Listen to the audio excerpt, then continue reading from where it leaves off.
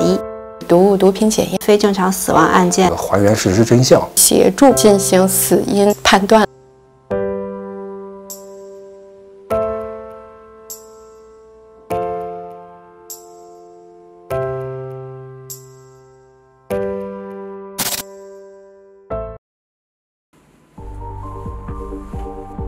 对于非正常死亡来说，它有可能涉及到是刑事案件，所以呢，我们会对它的生物检材呢进行化验，判断它是否是被人为投毒。我叫孙静，是毒物毒品检验鉴定方向的法医。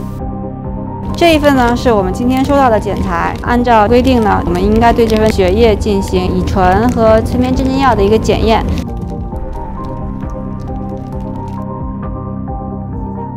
样品放上去以后就可以排样，十五分钟以后就能得到这一份乙醇的结果。我们真的是跟医院的检验科一样，我们只不过检验的对象大部分是死者的血液和尿液等生物检查，现场提取的其他的可疑的物质也会送到我们这里来进行检测。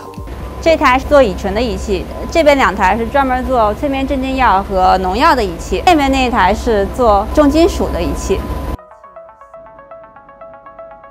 我们工作其实应该分两块，一个就是出检验报告的这种司法鉴定，那么我们还有一部分工作要为这个侦查服务。有些东西可能是你的知识储备是够的，那有时候侦查人员提出来的一些东西你是不能很快的满足的。比如说毒品拿过来两包，这两包是不是我们叫同一批次啊？是不是同一个上家分包给这两家的？说起来特简单的一个事，但是你要是支撑这个。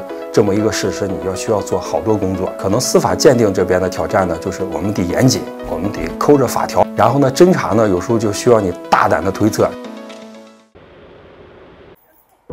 如何根据死者的中毒症状来判断是什么药物来造成他中毒的？这是最为难的。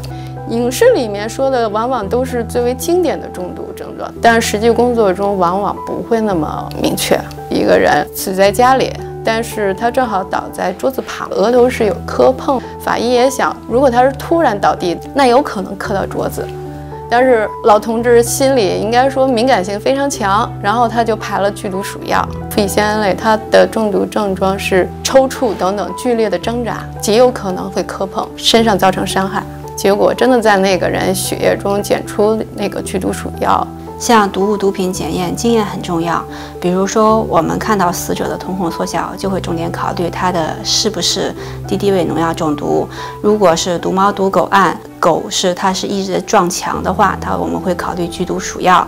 如果是这个死者是凝血功能不强的话，我们会考虑抗凝血鼠药。我们在接案的时候，也会及时跟法医病理沟通，问死者当时的情况，根据现场的了解呢，也辅助于我们最好最快的筛查出毒物。